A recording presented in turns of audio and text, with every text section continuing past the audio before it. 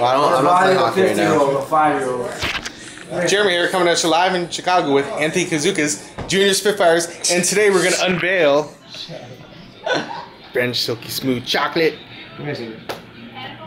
peanut butter chocolate. Unveil it first, Anthony. Bust it out. Da, Hey, Tony. da, da, da, da, Can you give us a Snickers? What is going on? Uh oh. To some. Look at that right there. Wow. Wow. If Dustin the Talk is watching this right now, Ignore wow. the fruit in the back. Wow. Healthy? Bad. Healthy? Bad. Yes, maybe it might work. Let's see. To some, this is their kryptonite. Boom. Their bane. Say Snickers. Snickers. Their weakness. We will partake. Yes, we will. One pie each.